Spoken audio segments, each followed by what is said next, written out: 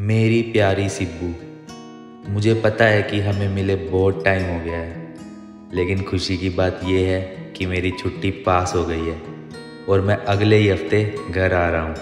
माँ और पापा जी को मेरा बहुत सारा प्यार देना। जल्दी ही मिलते हैं। तुम्हारा रचित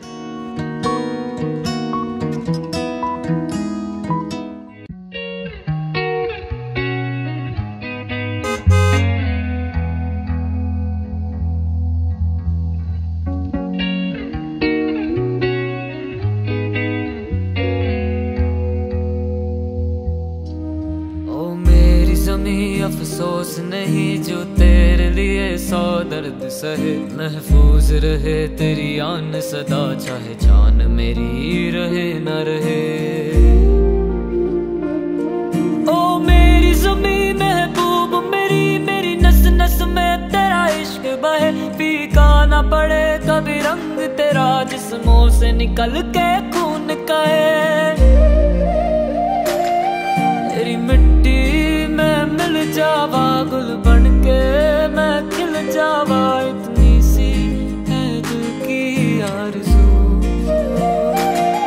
तेरी नदियों में बह जावा, तेरे खेतों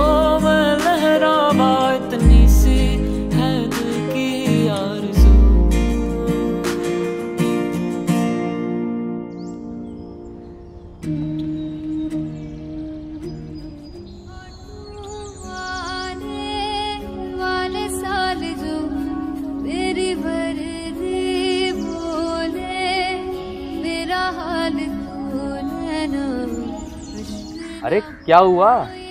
तू रो किस लिए रही है? अरे कुछ नहीं होता। देश के लिए एक छोटा सा बलिदान ही तो दिया है। रो मत। अच्छा ये बता मम्मी पापा कहाँ हैं? उनसे मिलना है मुझे एक बार।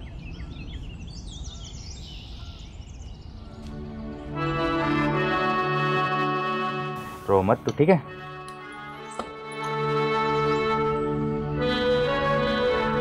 मैम इनका पैर खराब हो गया और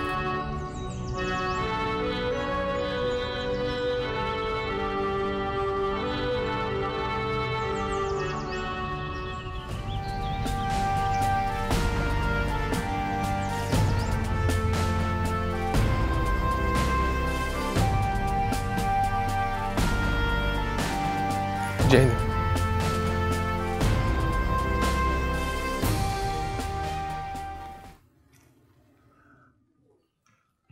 और बेटा कैसा है अब तुम? पापा अब तो थोड़ा अच्छा महसूस कर रहा हूँ। बेटा आगे का क्या सोचा है? क्योंकि पेंशन में तो हम क्या ही घर का गुजारा कर पाएँगे। हाँ पापा मैं भी ना इसी चीज़ के बारे में सोच रहा था और मैंने डिसाइड किया है कि मैं गाँव में रह के खेती करूँगा। खेती? पर बेटा खेती क्यों? क्यों नहीं पापा? मैं खेती क्यों नहीं करूँगा? मेरा हौसला कम थोड़ी ना हुआ है अभी। और पापा देश की सेवा तो हम करते ही रहेंगे। पहले बॉर्डर पे जवान बन के अब यहाँ रह के किसान बन के। और वैसे भी पापा टेक्नोलॉजी आज के टाइम में बहुत आगे बढ़ गई है। वो बैल और हाथ वाला ज़माना नहीं रहा अब। अब मशीनों से सब पॉसिबल है। ट्रैक्टर है फर्टिलाइजर्स के लिए मशीन है क्रॉपिंग के लिए मशीन है हर चीज़ मशीन से हो जाती है आज के टाइम पे। बेटा तेरी वो बात तो सही है पर तू जानता है गेहूँ बाजरा सरसों ये उगाने में कितना कर्जा हो जाता है किसान पर। खाद पानी बिजली दवाइयाँ कितनी महँगी पड़ती हैं। कुल मिला के कुछ हाथ पल्ले नहीं पड़ता इन फ़सलों में हमें। कोई बात नहीं पापा अब कोई चीज़ सोची है ना तो उसको पूरा करेंगे भी। अब चाहे मेहनत लगे चाहे पैसा लगे हम अपनी तरफ़ से तो पूरा करेंगे ना उसको। और ज़रूरी थोड़ी ना पापा कि हम गेहूँ बाजरा उगाएँ। हम महँगी फ़सल भी उगा सकते हैं जैसे मशरूम कैश क्रॉप्स सैफरोन काफ़ी चीज़ें हैं जो हम उगा सकते हैं। उनमें बचत भी अच्छी है कमाई भी अच्छी है। बेटा तेरा हौसला देख कर तो बहुत बढ़िया लग रहा है। तू जो करेगा ना वो अच्छा ही करेगा। हम तेरे साथ हैं पूरा साथ देंगे तेरा। हाँ मम्मी। हम अपनी तरफ़ से तो पूरी मेहनत करेंगे और बाकी भगवान की मर्ज़ी। बेटा, हम दोनों का आशीर्वाद तेरे साथ है और भगवान पर पूरा भरोसा है कि तेरे को खूब कामयाबी मिले।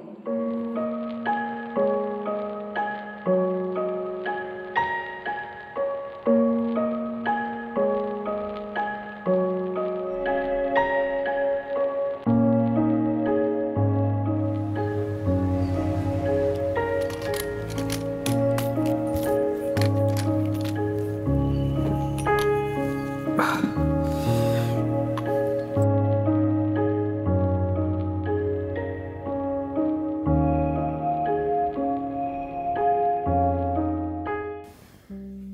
को तो इतनी चिंता हो रही है छोरे की। पहले इतनी परेशानी में चल रहा है, ये कैसे संभालेगा सारा काम? कैसे कर पाएगा ये? अरे, हमारा बहादुर बेटा है। छोटे मोटे कठिनाइयों से डरने वाला नहीं है वो। बेफिक्र रहो। मम्मी पापा वो गाँव जाने के लिए तैयार हो रहे हैं। तो मैं क्या सोच रही थी कि मैं भी उनके साथ चली जाऊँ अगर आप लोग कहो तो। अरे बेटा ये पूछने वाली कौन सी बात है? ये तो बहुत अच्छा सोचा तूने। तू जा उसके साथ। हमें भी चिंता नहीं रहेगी उसकी। हाँ इसलिए मैं पहले से ही रेडी हो गई। और वैसे भी मैं उनकी जीवन संगनी हूँ। सिचुएशन चाहे कैसी भी हो मैं उनको अकेला तो नहीं छोड़ सकती ना। मेरा तो फ़र्ज़ है उनके साथ हमेशा रहना चाहे अच्छा वक्त हो चाहे बुरा। अरे कितनी अच्छी बहू कितनी अच्छा सोचती है।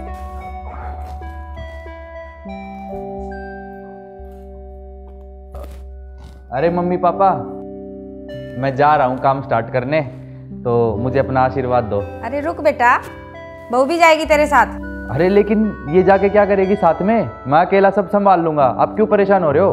अरे बेटा वहाँ पर तू अकेला कैसे कर लेगा?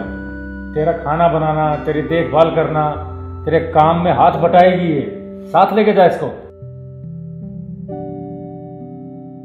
ठीक है तो भेज दो।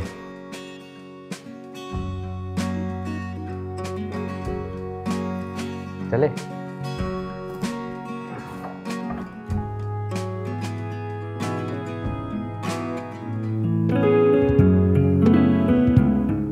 रचित तुम्हें ये ढाबा याद है?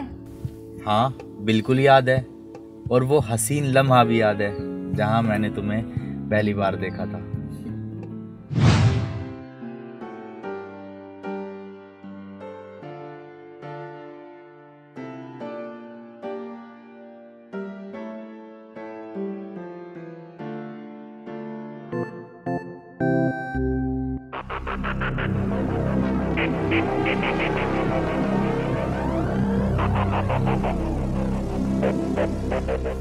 क्या कर रहा है इधर? तुझे खड़े रहने के पैसे देता हूँ। काम करने के ना? तो काम कर। बेटा? यहाँ। क्या हुआ? भूख लगी है? चल मैं तेरे को ना किसी अच्छी जगह खाना खिला के लाता हूँ ठीक है? अरे भाई साहब हाँ। ये क्या हरकत आपकी?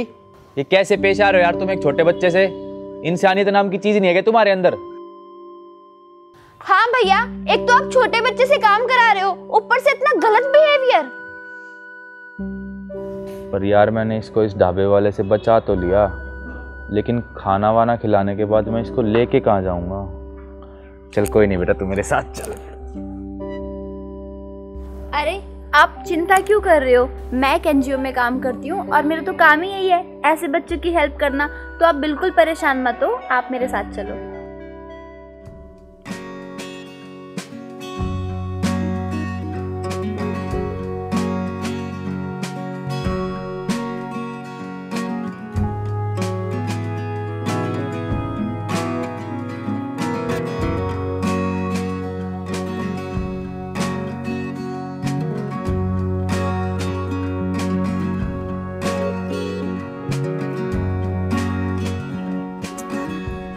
बेटा।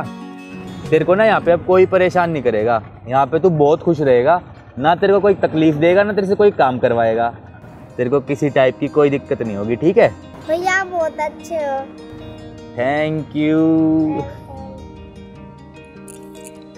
चलो अब इसको ना अंदर लेके चलते हैं और मैं बीच बीच में आऊँगा टाइम टू टाइम और देखता रहूँगा कि इसकी पढ़ाई लिखाई और इसका रहन सहन कैसा चल रहा है।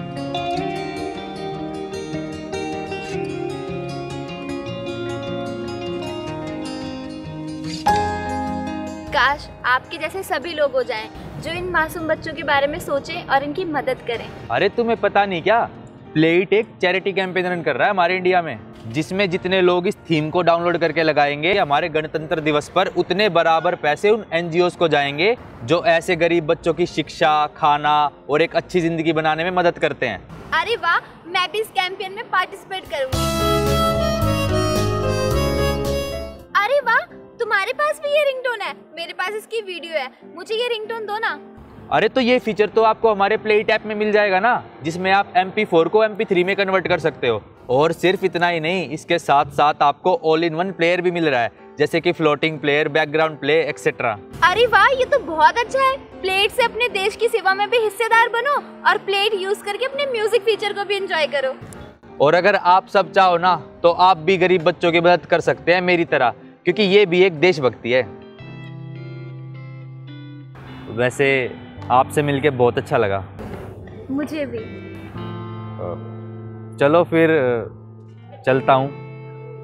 फिर कभी हुआ तो ज़रूर मिलेंगे। ज़रूर।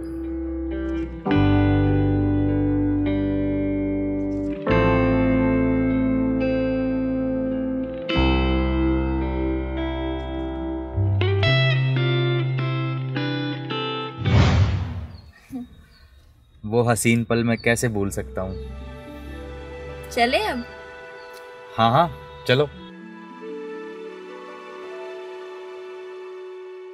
अरे भाई साहब इस बार की रबी की फ़सल बहुत मस्त हुई है। बिल्कुल एक नंबर। अगर आप देखोगे ना तो आप देखते रह जाओगे। भैया मैं ना बड़ी होकर एक आर्मी ऑफिसर बनूँगी। मैंने पूरी तैयारी कर ली है। और आप क्या बनोगे? मैं? मैं तो बड़ा होके एक किसान बनूँगा। मेरे खेती में बहुत इंटरेस्ट है।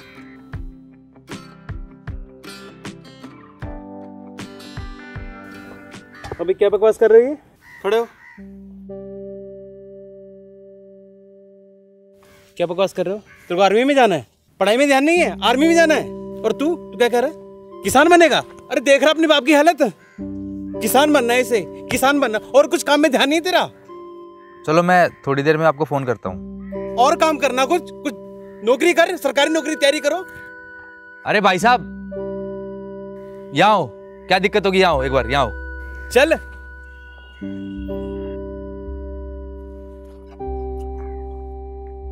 क्या परेशानी होगी भाई साहब? क्यों मार रहे हो बच्चों को? तो देख भाई इनको समझा समझा के पागल हो गया। इनको समझ में नहीं आती मेरी बात। अरे अरे अरे आप मार किस लिए रहे हो? मेरे को बात बताओगे बात क्या हुई है? भैया मैं बड़े होकर आपके जैसी आर्मी ऑफिसर बनना चाहती हूँ जैसे आप थे। भैया मैं बड़े होकर किसान बनना चाहता हूँ बिल्कुल आपकी तरह जैसे कि आप हो अभी। फिर भाई किसान बनना चाहता हूँ।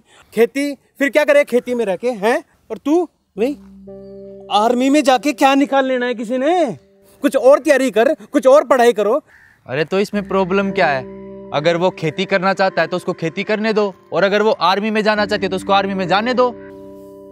भाई साहब आपको पता है? आपको पता है जब बच्चे बॉर्डर पे होते हैं तो क्या होता है? हमारी जान और हमारा ध्यान वहीं पे रहता है हमेशा समझिए घर में क्या हालत होती है? हमारे हमारे घर में भी फौजी थे। मतलब आप कहना चाहते हो कि आप अपने बच्चों को देश की सेवा नहीं करने दोगे? सिर्फ़ आप इनको पैसे कमाने की मशीन बनाना चाहते हो है ना? अगर सारे घर वाले अपने बच्चों के साथ ऐसा ही करेंगे तो फिर कौन देश की सेवा करेगा और कौन देश की सुरक्षा करेगा? तो आप लोग मेरे को तो नहीं लगता ऐसे आप लोग खुश रह पाओगे।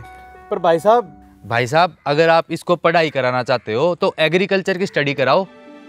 एग्रीकल्चर की स्टडी करेगा तो अच्छे से खेती सीखेगा एक अच्छा और समझदार किसान बनेगा फिर ये। आपके घर में भी पैसा आएगा और आपका बेटा देश की भी सेवा करेगा। और अगर आपकी बेटी आर्मी में जाना चाहती है तो उसमें भी कोई प्रॉब्लम नहीं है। जब वो आर्मी में जाएगी ना और बॉर्डर पे जब देश के लिए लड़ेगी देश की सेवा करेगी तो आपकी छाती गर्व से चौड़ी हो जाएगी। अरे आप मेरी बात समझो। पर भाई साहब आर्मी लड़कियों के लिए नहीं होती। अच्छा ऐसा आपको किसने बोला? क्या बेटियाँ देश की सेवा नहीं कर सकती? अरे भाई साहब आप ये देखो कि आपके घर में जवान और किसान दोनों एक साथ है इससे बड़े सौभाग्य की बात और क्या होगी? और हमारी बेटियाँ क्या बेटों से कम है क्या? वो हर चीज़ में आ गया है। आर्मी में जाने दो उसे और इसे खेती करने दो। आपने वो तो सुना ही है ना? जय जवान जय किसान। चलो भाई जैसे तुम्हारी मर्ज़ी। करो। मेरा आशीर्वाद है तुम्हारे साथ। थैंक यू भैया। खूब तरक्की करो।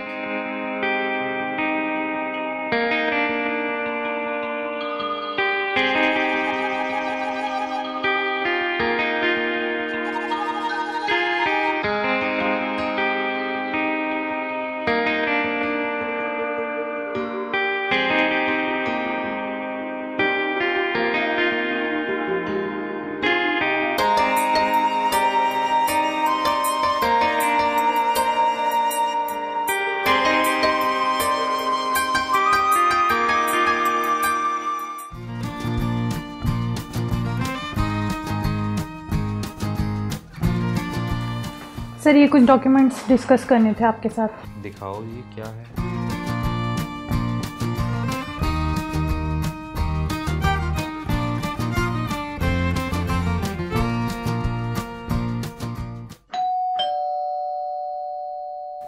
देखना तेजस्वी कौन है एक बार। जी सर।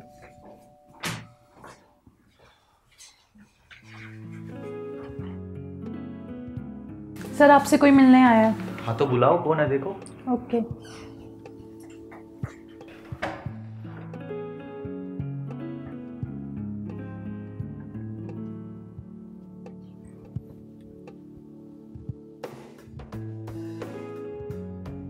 सत श्रीकाल पाजी। पहचाना? अरे आप तो शायद वही हो ना जो खेत में काम करते थे। खेती तो भाई साहब मैं आज भी करता हूँ पर अकेला नहीं मेरा बेटा है मेरे साथ। अरे क्या बात है? ये आपका बेटा ये तो वही है जो किसान बनने की बातें करता था। और ये आपकी लड़की ये आर्मी में जाना चाहती थी। अरे क्या बात है ये तो कमाल कर दिया। कैसा लग रहा है बेटा आपको अब? बस भैया आपसे इंस्पायर होकर आज मैं एक डिजिटल किसान बन चुका हूँ। और मुझे बहुत अच्छा लग रहा है कि मैंने जो प्रोफेशन चुना आज मैं उसमें कामयाब हूँ। और लेडी सोल्जर आपको कैसा लग रहा है आर्मी ज्वाइन करके? भैया मुझे बहुत अच्छा लग रहा है कि जो मेरा आर्मी में जाने का ड्रीम था वो पूरा हो गया और मैं आज आर्मी में जाकर अपने देश की सेवा कर रही हूँ। और मुझे इस चीज़ पर बहुत गर्व है। चलो भाई साहब अब आप बताओ आपको कैसा लग रहा है? आपका लड़का एक इतना अच्छा किसान बन गया है आपकी बेटी आर्मी में एक इतने अच्छे लेवल पे है आप बताओ। मुझे मेरे पैर ज़मीन पे नहीं पड़ते।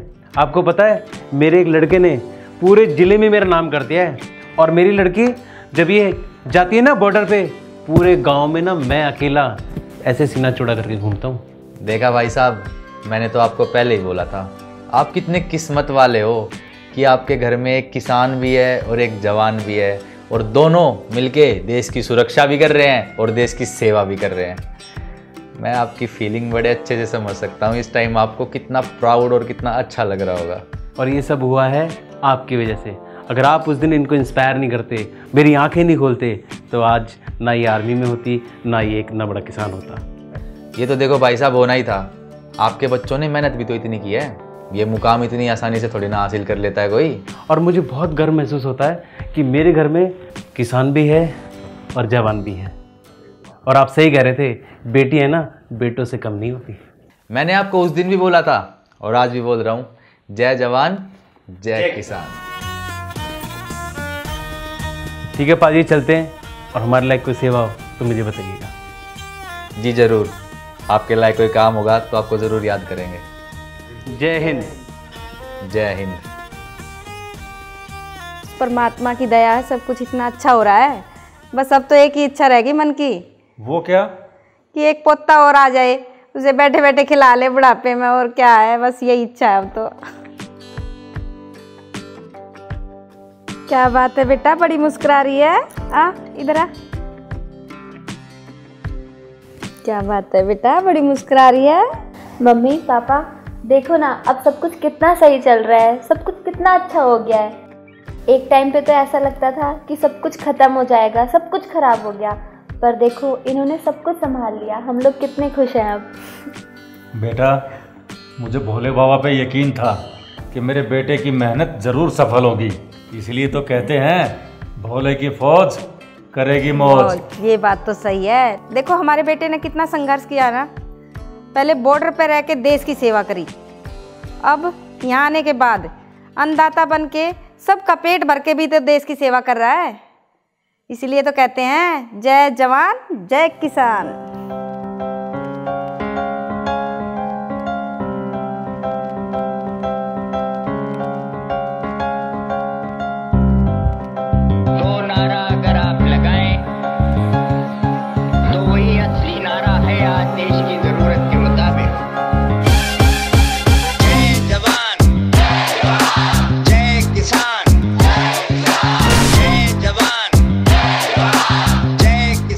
हे गाइस तो होप आपको ये वीडियो पसंद आई है। अगर वीडियो अच्छी लगी तो प्लीज़ इसको लाइक करना और कमेंट करके जय हिंद और वंदे मातरम और साथ साथ जय जवान, जय किसान ज़रूर लिखना।